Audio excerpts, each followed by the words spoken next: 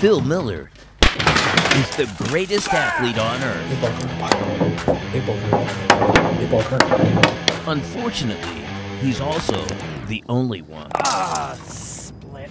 The Last Man on Earth premieres Sunday, March 1st Ah, get it. on Fox. All right, pay up.